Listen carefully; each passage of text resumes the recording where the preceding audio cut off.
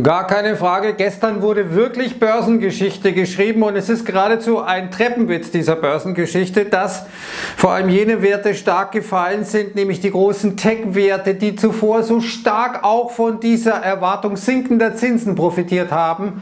Und dann sehen wir, dass die Inflation deutlich niedriger ist als erwartet, sogar negativ zum Vormonat. Und was passiert?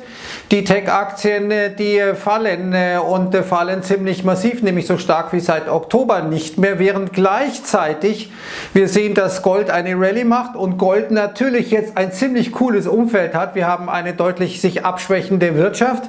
Das wird auch durch diese niedriger ähm, ausgefallenen Inflationsdaten eigentlich nochmal bestätigt. Wir haben gleichzeitig eine massiv gestiegene und weiter steigende Verschuldung und all das bei sinkenden Zinsen klingt ziemlich sexy für Gold. Auf der anderen Seite sehen wir, dass gestern nicht nur der Nasdaq abverkauft wurde, sondern vor allem äh, Sachen massiv gestiegen sind, die man als Junk bezeichnen könnte, die man also als schlechteste Qualität an Aktien bezeichnen könnte. Und äh, diese Aktien sind vorher nicht zufälligerweise nicht gut gelaufen, gestern aber massiv gestiegen, auch weil es einen Short Squeeze gegeben hat.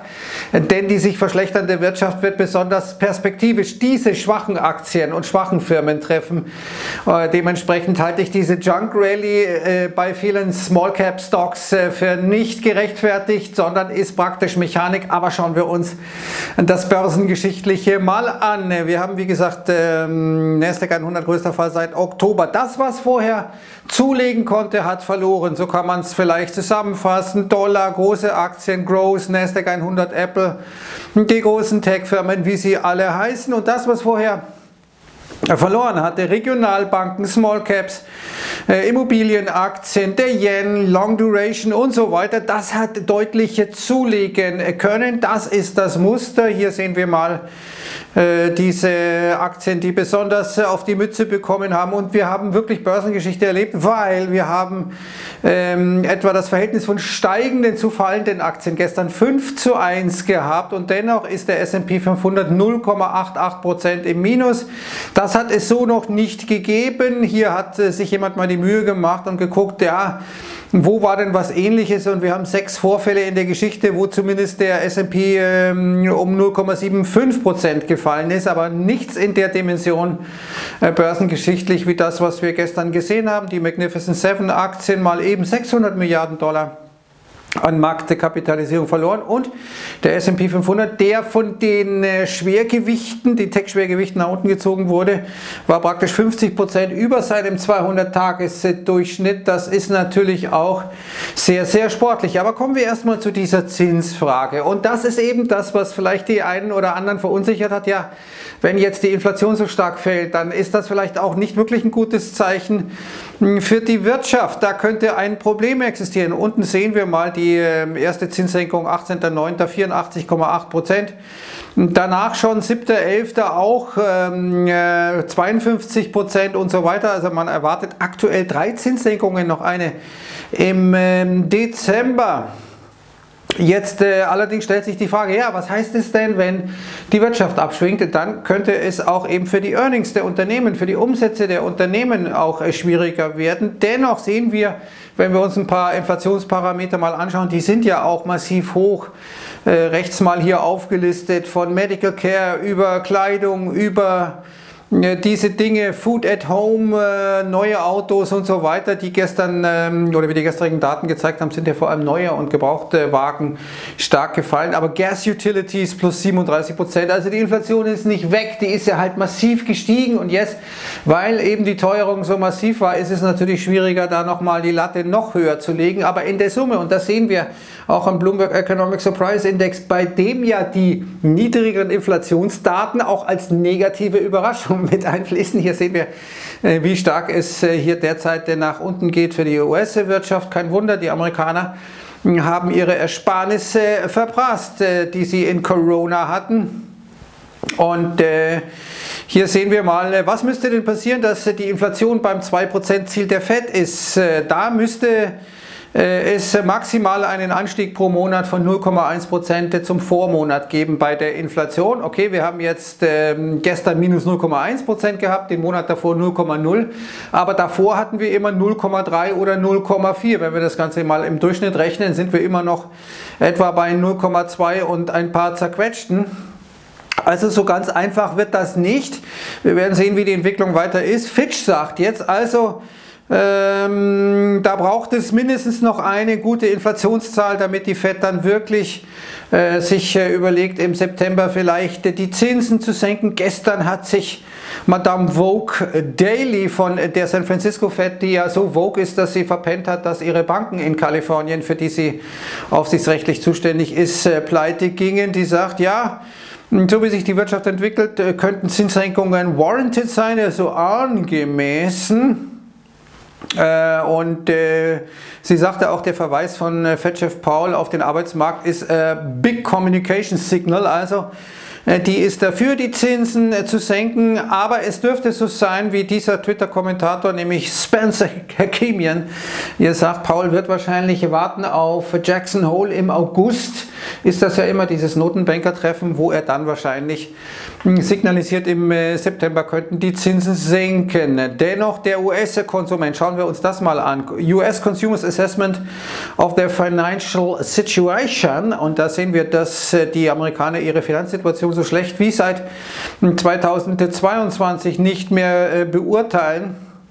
Nur 26 Prozent äh, sagen, meine Situation ist besser als vor einem Jahr. Das ist der zweitschlechteste Wert seit 2012. Das heißt, wir haben einen riesen Gap nach wie vor, obwohl die US-Konjunkturdaten jetzt immer schlechter geworden sind, zwischen dem, was die Leute wahrnehmen und dem, was die offiziellen Daten zeigen. Jetzt ist die Frage, haben die Leute eine falsche Wahrnehmung oder sind die offiziellen Daten falsch? Bei den US-Arbeitsmarktdaten ist für mich die äh, Antwort relativ eindeutig. Auch gestern diese Seasonal Adjustments etwa bei den Energiepreisen, die angeblich gefallen seien sein sollen, äh, unadjustiert jedoch gestiegen wären. Äh, however, also das ist die Situation. Jetzt gucken wir uns aber mal an. Wir haben also eine offenkundig also abschwächende Wirtschaft, ähm, die äh, ganz klare Schwächezeichen sendet und dennoch sind gestern innerhalb des Russell 2000, innerhalb dieses Nebenwerteindex, diejenigen Aktien gestiegen, die schlecht sind, die eine schlechte Bilanz äh, oder deren Unternehmen eine schlechte Bilanzqualität hat.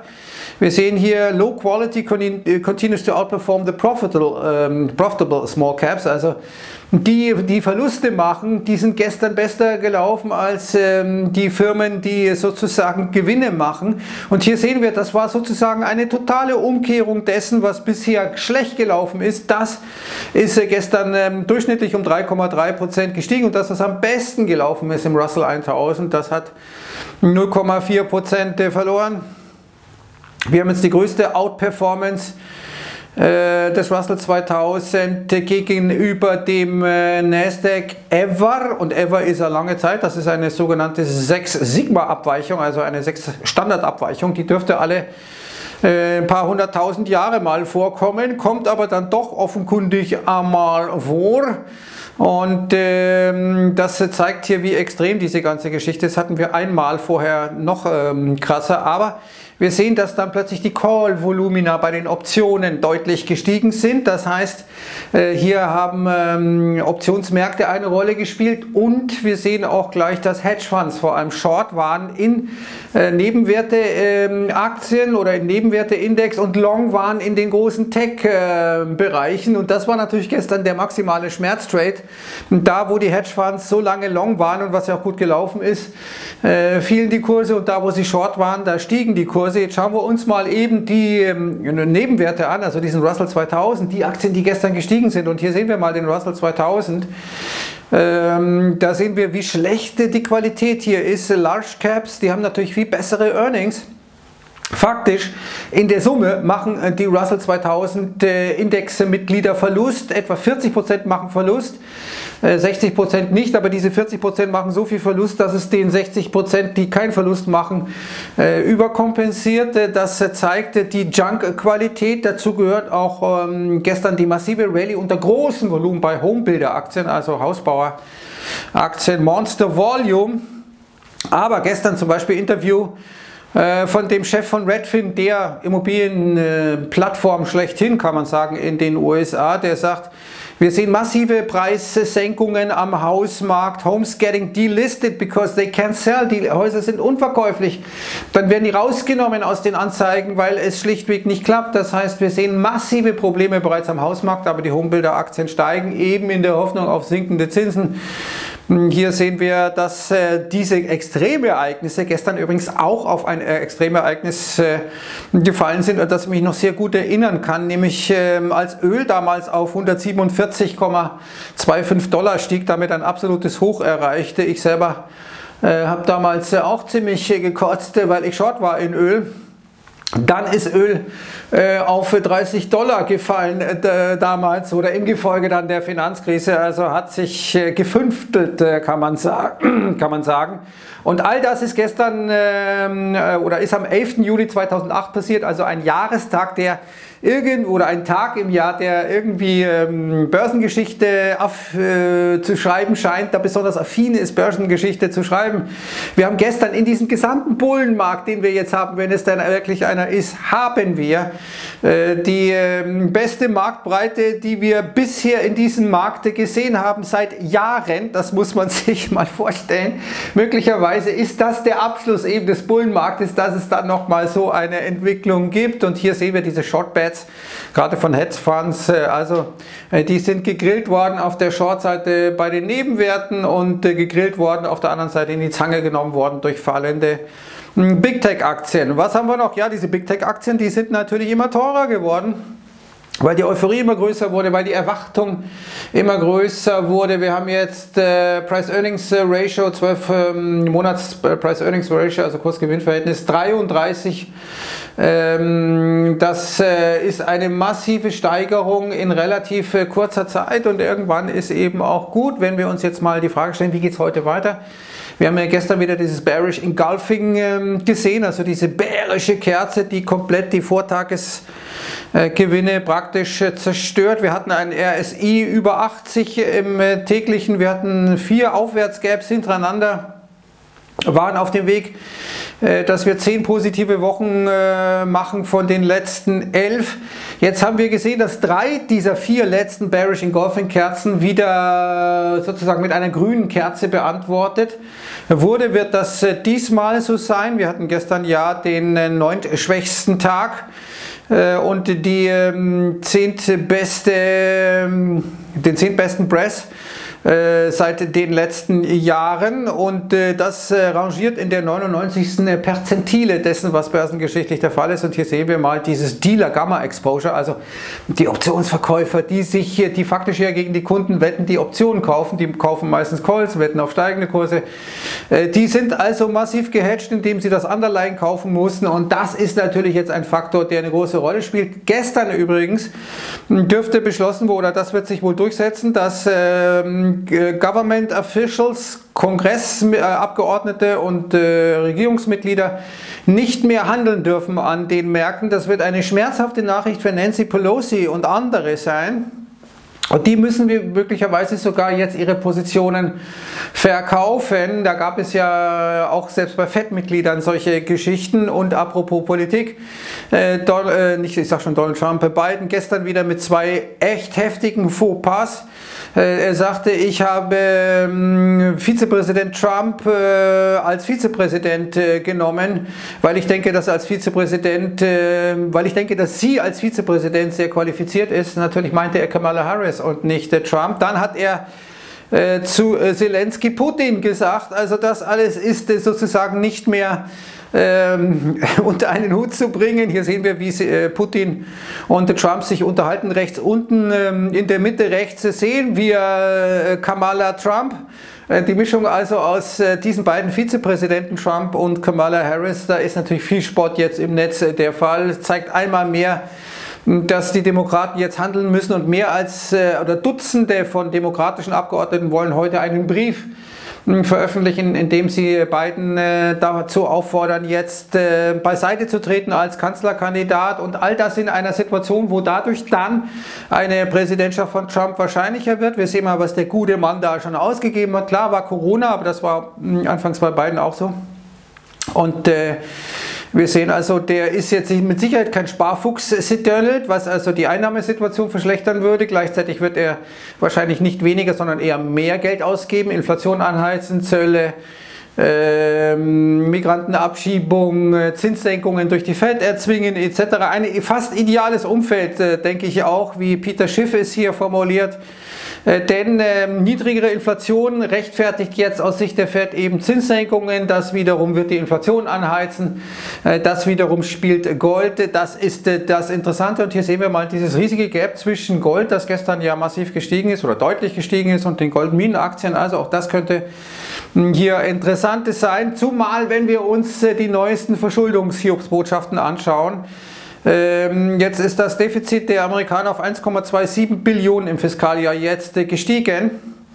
Im Juni alleine musste man 140 Milliarden Dollar äh, zahlen in den ersten äh, neun Monaten insgesamt 868 Milliarden Dollar. Und diese 140 Milliarden Dollar sind schon mal alleine 30 Prozent der gesamten Steuereinnahmen gehen jetzt also für Zinszahlungen drauf. Für den US-Haushalt muss man sich vorstellen. Und das Ganze dürfte noch äh, krasser werden. Bis äh, April 2025 dürfte all das weiter noch nach oben gehen. Es ist ein Drama und heute wird interessant, auch was uns die Banken vor allem über die Konsumenten zu erzählen haben. Wir haben ja heute JP Morgan, ähm, Wells Fargo und Citigroup, die berichten. Wir berichten da auch bei Finanzmarktwelt drüber. However, wir sehen, dass die großen Banken bisher gut performen konnten, äh, recht gut performen konnten, wenngleich auch schwächer als der S&P 500. Aber die Regionalbanken, die gestern so massiv gestiegen waren, die sind eben ganz schwach auf der Brust. Abschließend zwei Empfehlungen. Diese Rotation, die die Tech-Aktien hart trifft, ist das die Trendwende? Fragezeichen. Hier Indizien und Gegenargumente gerne weiterempfehlen über Social Media. Und die zweite und letzte Empfehlung. Äh, das ist Gold, der Goldpreis über 2400 Dollar. Die äh, Goldhändler setzen auf die Fed. Heute ja noch wichtig, die Erzeugerpreise 14,30 und dann Verbrauchervertrauen Michigan, vor allem die Inflationserwartungen der Konsumenten da. Also diese beiden Empfehlungen. Jetzt sage ich erst einmal Servus, ciao.